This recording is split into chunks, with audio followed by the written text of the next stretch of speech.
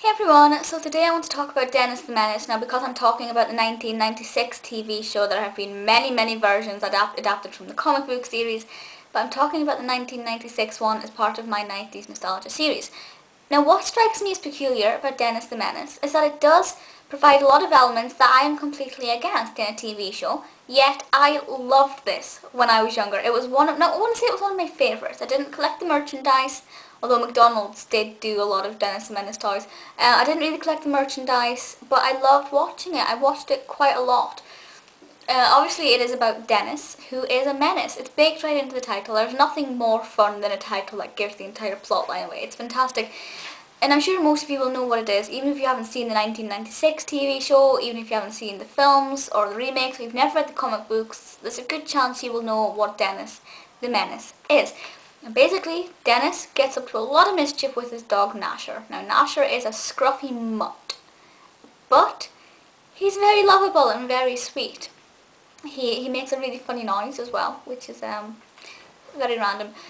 And what I don't what I don't like about this is the fact that Dennis is technically promoting bad behaviour, even even though at the end of every episode he does, you know, get his comeuppance, whatever he's done wrong will bounce back at him, and he'll have to apologise and things like that it still promotes bad behaviour. So if children only watch half the episode, they're not getting the good moral at the end of it.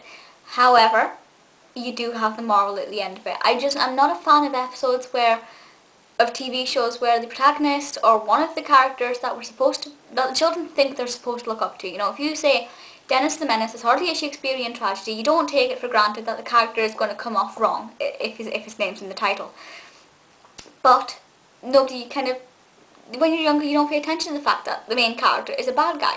You realise that they're being mischievous, but you don't necessarily realise the severity of their consequences. For example, if Dennis the Menace threw threw a pie in, in, in Walter's face, Walter is his, his arch, arch nemesis, Walter is technically the antagonist, but it's kind of role reversal because Walter's really quite a good guy, apart from when he's being deceiving and setting plots and things.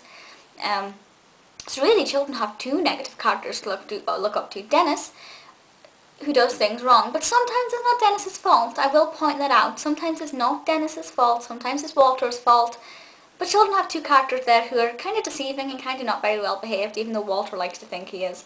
Everyone thinks Walter is perfect and everything is Dennis's fault. It's quite a lot of information for children to deal with and a lot of things going on and they have they for themselves have to work out what's right or wrong.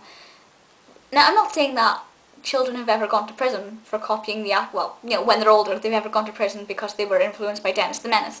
But it is that kind of program which I don't like. However, the plot line, this is the whole point of my video, the plot line I think unfolds beautifully when we do find out that Dennis is in the wrong or Walter's in the wrong or whoever is um, the one who's projecting the morals in this episode, when we find out that they're in the wrong, it has projected really, really well. The moral is very clear.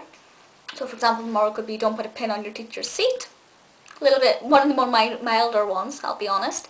Um, so it is very good. The plot develops really, really well and at a fantastic pace. It does keep you hooked.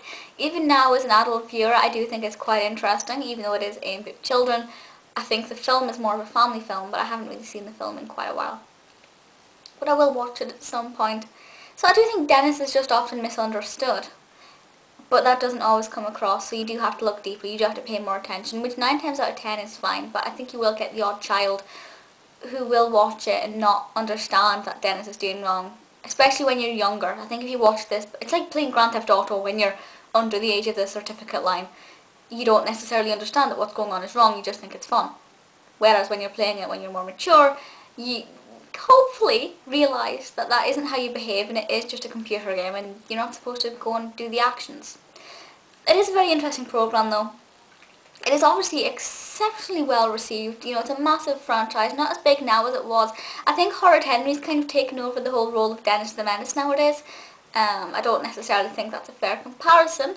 Um, but I do think Horrid is kind of a, a 21st century replacement for Dennis the Menace in, in many ways for the younger generations.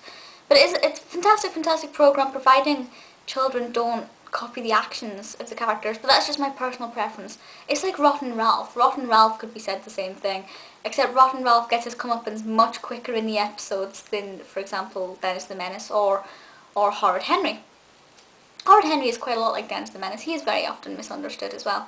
But yeah, fantastic program, loved by many, and it's something which I would quite happily today sit down and watch. You know, I do enjoy it. I think it's it's really, really well done. And the character of Dennis the Menace is quite adorable. In his own ways, he's quite cute. But let me know your thoughts on Dennis the Menace and whether or not you loved it or if you still love it. Um, or if you loved the original TV series and uh, that was on quite a lot before the 90s. But let me know your thoughts and I'll see you all next time. Bye.